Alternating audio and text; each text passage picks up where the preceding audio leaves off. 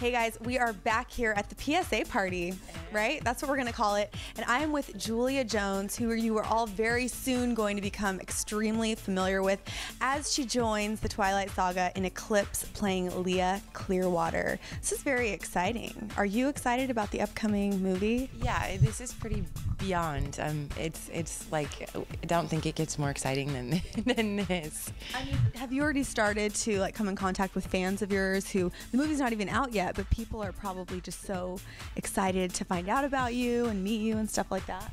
Yeah, I mean, um, so nobody knows, like, you know, I nobody knows who I am. But if they if they find out that I'm a part of it, then of course it's like even just the other day, um, a neighbor of mine, I don't know how she found out, but I was in, getting in my car and she like creeped over and she was like, um, you know, I heard my family's coming. Would you mind? And they, they were so sweet. They came over and I, I went and like signed their books for them. And that kind of a thing randomly happens every now and then. And it's, it's very nice to be able to make kids smile. It's like whoever knew. So crazy, I know. Now, before we really delve into the whole Eclipse Twilight Saga stuff, um, let's talk about why we're here today. Did Chaske Spencer ask you to come out and just participate in the PSA, or what was the story behind that? Yeah, um, Chaske called me, and um, I, I, was familiar with the situation in South Dakota, but um, he said that he was basically putting together a bunch of people and um, doing a PSA to get the word out because there's not enough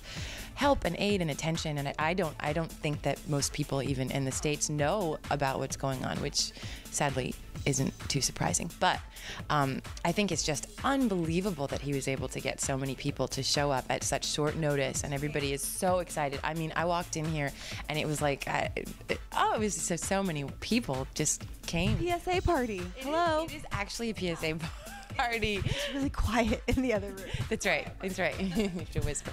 So, what, what, how did you find out about this? Just through him, or did you find out through the media, or? Actually, I um, I had been working on a play um, with uh, an actor and an activist named Russell Means, who's sort of very well known, and he he lives um, in South Dakota on the res, and he's very, very, very involved with the community out there. And he just sort of mentioned it in passing, and you spend so much time with people when you're doing a play. It's like you live with them. And so I think I've I'd gotten a good speech or two about it, about what was happening um, over the. But it's been going on for weeks, and I mean, I'm not going to lie, I didn't know about it, and I like to stay up on the news as much as possible. So, I mean, I really hope that what you guys are doing can bring light and shine a light onto what young people out there can do. Yeah, you know, no, definitely. Um, I think these Indian, they're basically nations in a lot of ways, and when when disaster, something bad happens on them, it's there's not an awareness in mainstream America, and the government doesn't respond, even though they respond to very high profile nations overseas.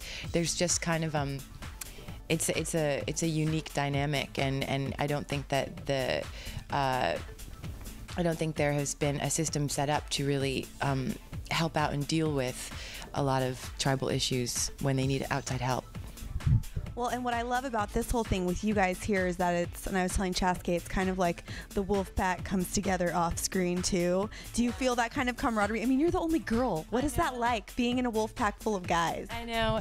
Um, it's like the best feeling ever. I mean, I mean, I feel like safe, and I feel, you know, it's fun all the time, and they're they they're they're goofy, and and they take care of me. I'm like, I feel like the like the youngest daughter in a family, like the like the little girl, basically. what was it like shooting the movie all together behind the scenes? You guys just have a lot of practical jokes and stuff like that.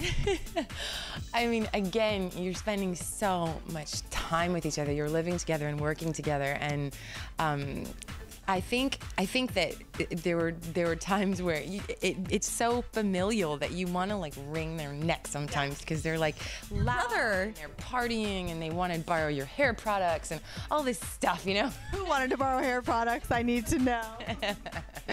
I think that well, actually, I will tell you, it was Alex. Just like came, he just I don't know, he just thought at some point that there was not even, I mean, he just, just appear at my door whenever. And he was looking for some hair product that I didn't have. And then Chaske appeared and he had it. So. Boys just need a little bit of pomade. You can't, you can't hate that. oh my goodness. So, what's next for you? You're working on a play. Um, hopefully, you know, we'll be seeing Breaking Dawn. Do you know anything about Breaking Dawn that we wouldn't know? No, I don't. You guys probably know a lot more about it than I do. I'm waiting to. Um, yeah, I, I um, finished working on this play a couple weeks ago, and I just wrapped a movie called Jonah Hex, playing um, Josh Brolin's wife, and it's pretty. It's very cool. It's a comic book movie with Megan Fox and John Malkovich, and I'm I'm psyched about that too. You have a bright career, it sounds like. A very exciting six months, and we shall see what happens now, because um, you know, you just you never Straight to the top. no, and now I'm like unemployed again. So no, really, So, what do you do in your free time besides PSAs? I ha- haven't quite. No, yeah, I mean that's part. I haven't quite figured it out, and I haven't quite established free time yet. I think I still like um, the past week or so have just been trying to catch up on all the like life businessy things that I didn't get to do over the past six months. So, but I, I you know, this is the first time that I've not been working, and and and so you kind of.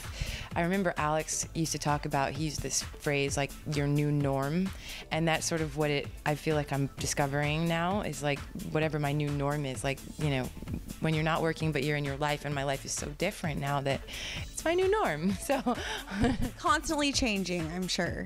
constantly, yeah. I mean, it's it's very. If nothing else, it's really exciting, and I just um, I'm so happy that the people that um, I've gotten to work with and the people that are here tonight are who they are because I just I'm so fond of them all. As are we. How can we keep up with you? Are you on Twitter, Facebook, any of that stuff?